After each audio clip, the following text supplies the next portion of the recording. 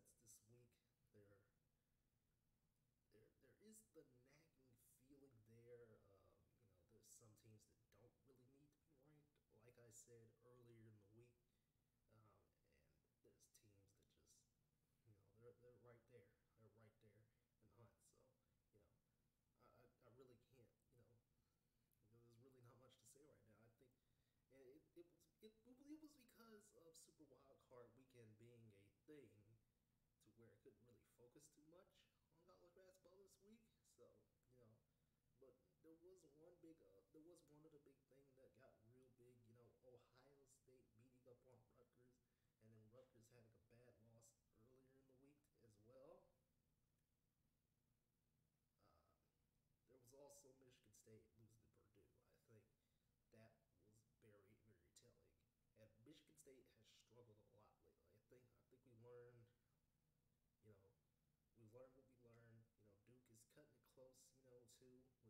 close games they've been having, you know, like the Wake Forest on Saturday. But Michigan State is having a little bit of trouble out there. I don't know what in the world's happened to this team. They were they were six and one, six and oh, you know, before we got to conference play, and now they are looking pretty bad. Izzo is making poor decisions on and off the well on the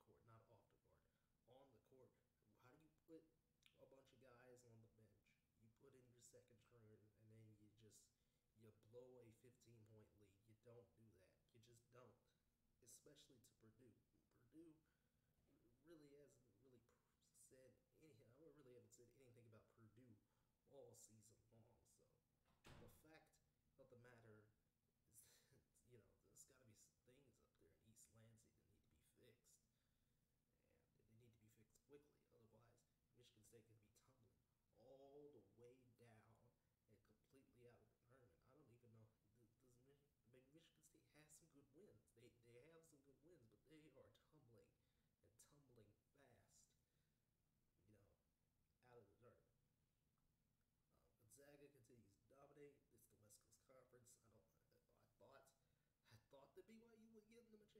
That didn't happen.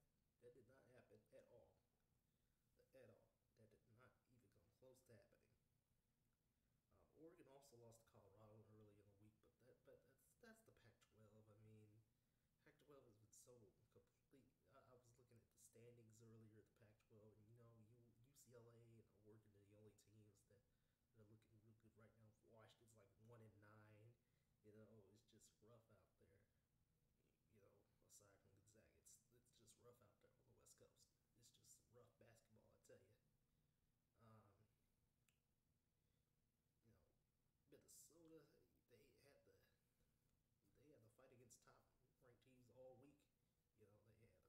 Michigan.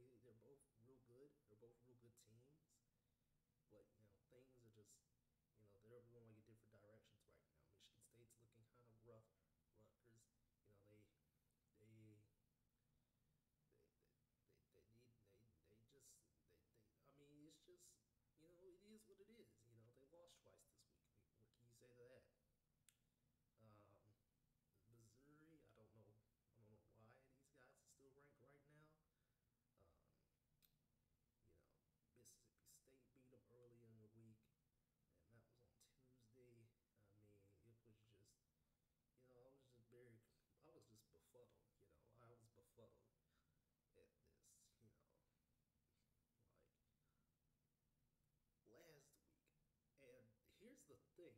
Alabama is undefeated in SEC play. I don't know how they're undefeated in SEC play. It's Alabama. This isn't a basketball school.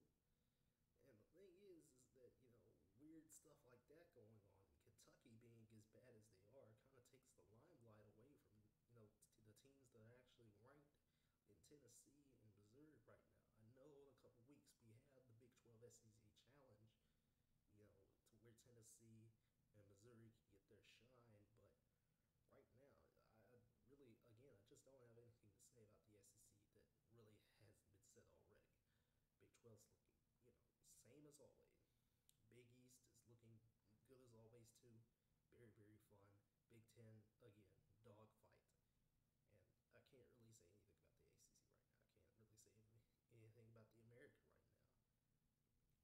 say something about Drake in the Missouri Valley. I think they're still undefeated. If not, I'll have to check that later. You know, it's been a it's the, the 2020 2021 season is, is, is it's, been weird. It's been a weird time. You know, we have players like Oscar Tshiebwe, you know, completely transferring during the season and whatnot. And, you know, West Virginia still got a W on Monday against Oklahoma State. Crazy stuff. Crazy stuff.